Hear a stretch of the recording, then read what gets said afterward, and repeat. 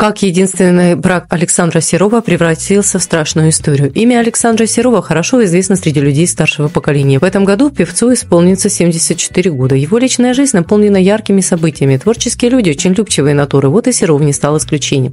Несмотря на это, официально певец был женат всего лишь один раз. Его избранницей стала Елена Стебенева.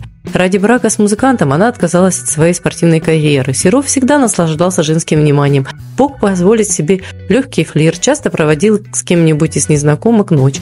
Елена все терпела, на многое закрывала глаза и следовала покорно тенью за своим мужем. Слухи, которые до нее доходили, категорически отказывалась верить. Когда в семье появилась на свет долгожданная дочь, общение с женой свелось на короткие телефонные звонки. Елена несколько раз уходила от Серова, но потом все равно прощала певца и возвращалась назад. В 2010 году Елена и Александр официально развелись. Брак продлился 20 лет. Сейчас Елене 53 года. Она стала дизайнером. Брак с Серовым вспоминает как страшную историю.